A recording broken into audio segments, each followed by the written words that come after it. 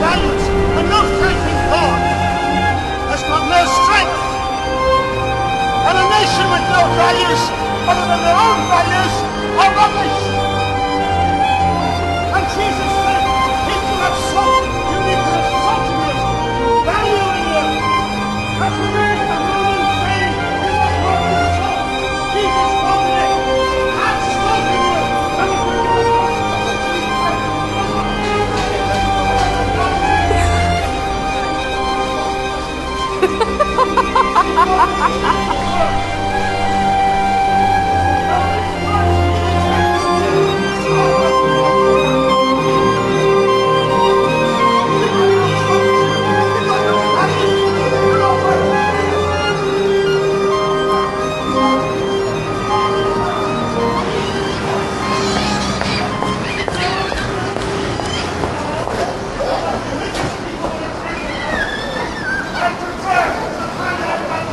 God